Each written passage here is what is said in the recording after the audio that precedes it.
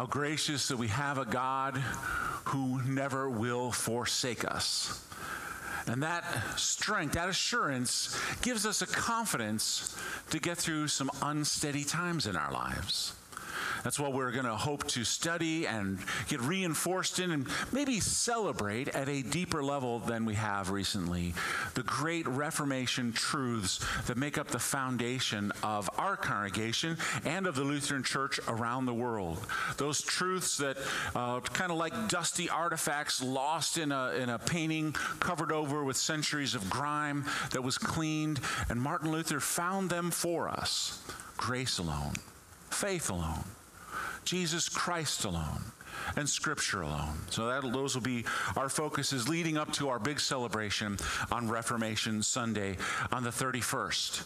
Y'all wear red, okay? Just a just a reminder for us about that. You heard us just singing about a cornerstone. You heard it in the Scriptures as well, and uh, I thought uh, here's an example of just how important a good foundation, a strong cornerstone is.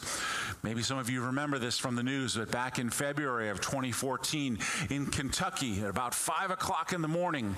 There, the floor caved uh, through in the Corvette National Museum eight or nine Corvettes, including one that was the only one still in existence. I think it was uh, 1984, whatever. I don't remember all the details, but nine of these priceless cars fell down 40 feet on top of one another in a sinkhole that had just grown and developed underneath this museum.